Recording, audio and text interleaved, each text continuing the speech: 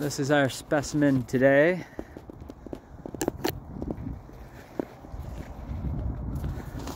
This guy here. So, we got a broken off hanger. Some dead wood up top.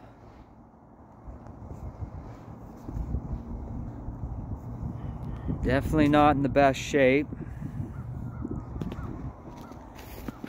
Have a look at the base. A canker here. Bit of a cavity. Another cavity. Signs of wood boring insects. Looking in there, that she's hollow, completely hollow at the base.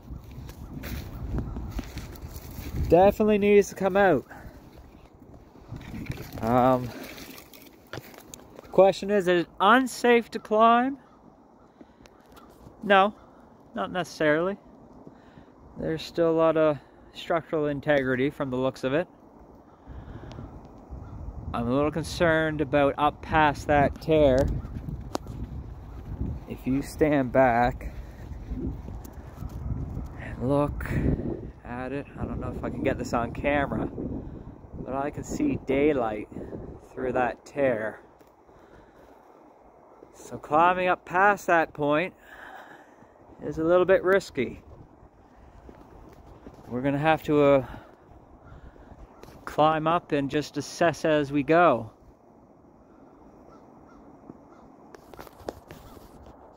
Like I said, if I wanted to, I'd, I'd climb up on my top line and spur it and go up this way.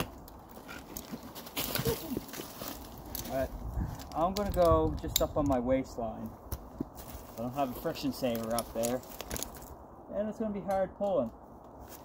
So ideally, when you're using your waistline, you wanna leave enough slack that you can reach out and touch the tree.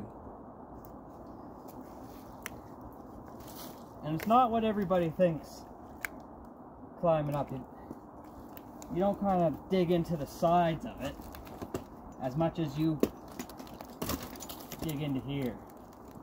For the most part, you keep your legs straight. And around, you stick them in up to the front of the tree rather than the sides. And that's all about getting a rhythm. Usually I do that and just, get this out of the way.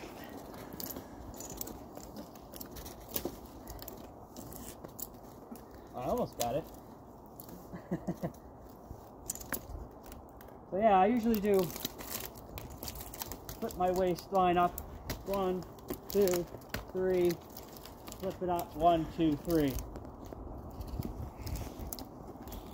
And that all depends on your preference. But it's a matter of getting a rhythm to, you know, be be efficient at it. You know, your goal is not to get it the, up the tree the fastest. You want to avoid climbing on the low side as well.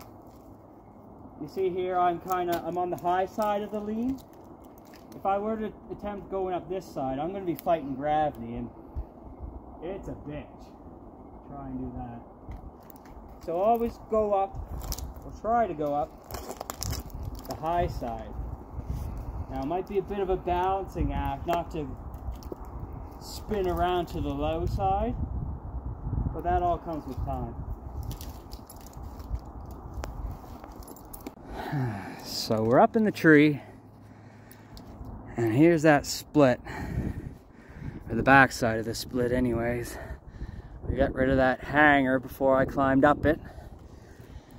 And look down in, kind of see it's, it's hollow up here too. Not all the way through. I'd be able to feel that with my spurs.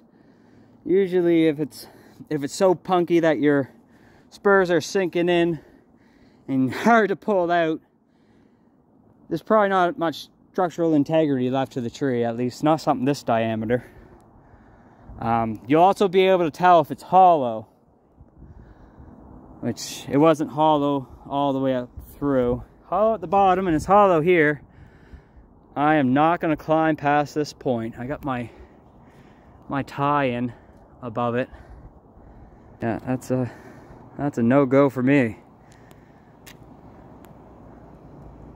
I'll have to uh, piece that down with the extended saw, I think. Not much for obstacles down there, might as well just let it fly.